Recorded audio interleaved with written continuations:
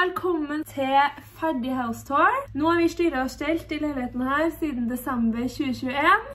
Noe har skjedd i absolutt alle rom, men badet det er vi ikke helt ferdig med enda, så det tenkte jeg at kunne bli en egen video senere. Men jeg er klar for å vise dere resten av leiligheten, så tenk bare at vi sier snurrfilm. Hvis dere har noen spørsmål, skriv det ned i kommentarfeltet, og så skal jeg prøve å svare så godt jeg kan.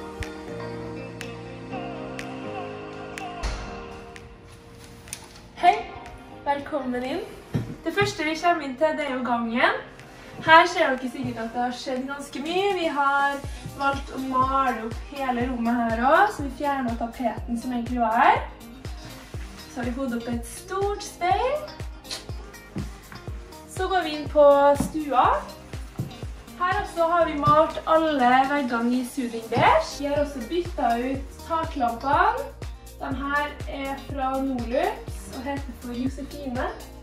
Og så har vi fått opp eh, gardinskinnet med hvite lingardiner. Spisebordet det er fra Wood Story-serien til Møbelringen. Selv om jeg måtte vente fem måneder på leveringen av bordet, så er det absolutt verdt det. Har også med to innleggsplater, så kan legge inn en video her nå av eh, bordet utslått.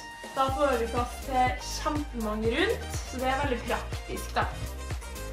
Videre så kommer vi til sofagruppa. Her har vi valgt en eh, stor sofa. Denne sofaen den er fra Ikea. Den heter Vimle, og vi har valgt fargen eh, Gunnared beige. Nå har jeg vært så heldig og endelig fått opp bildet på veggen her. Så der har vi faktisk planlagt bildet til de fargene som er i rommet da. Det er litt lurt. Sofabordet er fra Jotex. Men det er i furu, som er et ganske mjukt tre, så det eneste negative med det bordet er at det blir fort ripa i det. Hvis jeg visste det, hadde jeg kanskje ikke kjøpt det faktisk. Videre så har vi jo laget en, en medievegg, om du vil kalle det. Her har vi satt opp masse skap fra Ikea. Denne er for Eket. Så her får vi sjukt oppbevart alt rotet vårt.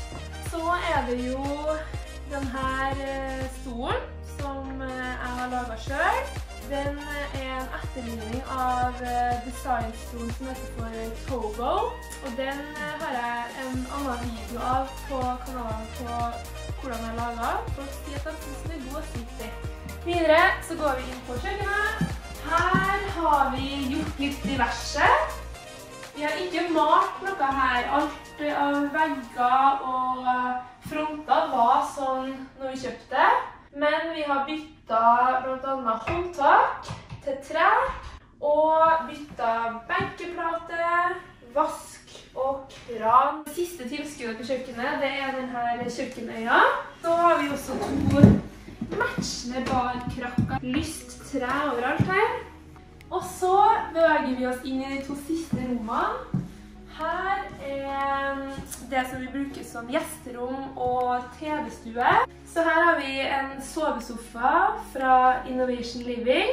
Den kan vi slå ut hvis vi har gjester. Her så har vi et uh, bilde venninna mi Ingrid som har ladet Inn til siste rommet, det er soverommet. Her har vi malt i Dusky Blue. Så det er blått det går på soverommet.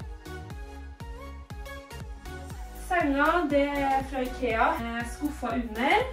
Sengegaveren den har jeg også laget selv. Lampeskjermen og gaveren skal liksom matche da. Det var jo egentlig hele leiligheten der. Veldig fornøyd med hvordan det har blitt. Så kommer det en egen video av badet senere. Hvis du lurer på noe, skriv det i kommentarfeltet. Gi en tommel opp hvis du likte videoen, og så snakkes vi. Ha det!